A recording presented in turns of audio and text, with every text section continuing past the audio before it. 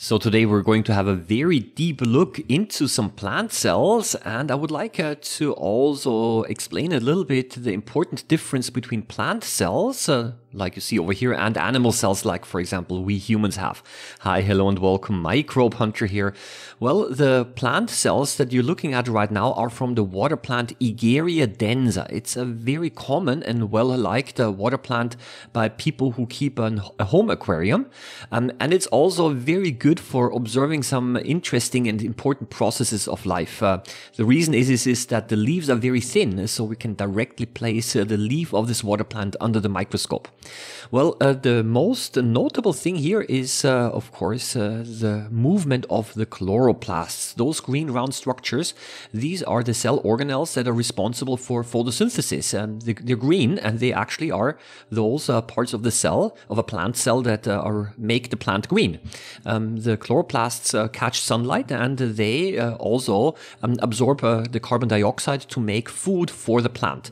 So it's uh, very common and uh, one of some people say one of the most important uh, processes of life because ultimately all of our energy that we use, so even when we eat food, mm, all, ultimately all of that energy can be traced back to the sunlight. Um, yeah, the animals that we eat, they have eaten plants and then the plants again made um, yeah, food using the energy of the sunlight. So at the very beginning, we have uh, solar energy, so to say. So indirectly we are all powered uh, by the sun. Well, and those chloroplasts, uh, they move, uh, and this uh, process is called cytoplasmic streaming.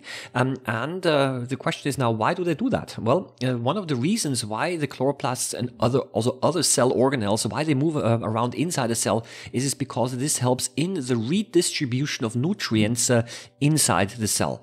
Um, I've also read somewhere that um, it is believed that cytoplasmic streaming also helps to rearrange arrange the chloroplasts in such a way that um, they're able to most efficiently catch the sunlight. Now, I don't know so much about that because uh, it's always in constant motion and movement, but apparently the cytoplasmic streaming can indeed be influenced by light and by temperature. But I have to tell you, I've not done experiments like this uh, yet, uh, but I would like to explore this uh, further in the future. But now to the important differences between plant and animal cells. Well, of course, plants do have those chloroplasts, at least those plant cells that are green. Um, not all parts of the plant are green, of course, but those parts that are green are responsible for photosynthesis. Um, and that is, of course, one important difference here. But we're also able to see a second important difference, and that is, is that the plant cells, that they have a cell wall. And the cell wall here is quite nicely visible um, because, yeah, we can see that where one cell stops and the other one starts And we can also see that the chloroplasts, they do not go from cell to cell, but they stay within the cell. And uh, the cell wall is important because it provides structure and strength uh, to, to the plant.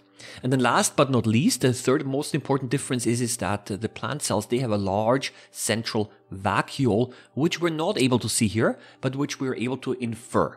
Um, the vacuole, that is um, a cell organelle, which is important for storing uh, water and also minerals.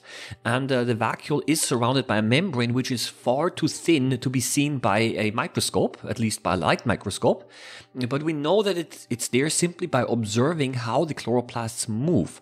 Because in some cells, if you look carefully, you can see that the chloroplasts are actually uh, streaming and and uh, cycling um, on the periphery of the cell. So they are going around next to, to, the cell wall. And the reason why they do that is, is because in the middle of the cell, you have uh, the large central vacuole. So they're not able to go through the vacuole, but they have to basically uh, move around it. Um, and uh, now some of the cells, or I would say rather many of the cells, um, appear to have the chloroplasts also in the middle. Um, however, um, this does not mean that the chloroplasts are actually in the middle of the cell because the cell is three dimensional. So those cells still still have a vacuole in the middle, but the chloroplasts are either above the vacuole or below the vacuole. And when you look at uh, the cell now from the top, then it appears as if the, cell, uh, the, the, chloroplasts are in the center, but, but actually uh, they're not. You know, so you see that uh, simply by looking at uh, those uh, um, cells, we can already see quite a, a few important distinctions between plants um, and animals. And if you want to observe also plant cells under the microscope, then I do have to tell you, you probably have to cut the tissue, the plant tissue into very thin sections, unless you're also using plant uh, that has very thin leaves. Because if you just put a leaf directly under the microscope, in most cases, it's far too thick um, and you're not able to see anything here. And that's why I've chosen the plant uh, mm, densa because uh, the leaves are extremely thin and uh, quite transparent. So we're able to see the processes uh, quite well. I think I'm going to leave it at that. Uh, do leave your comments um, and your also your own experiences with plant cells and plant cell microscopy specifically. Wish you all the best. Happy microbe hunting as always and see you around next time. Bye bye.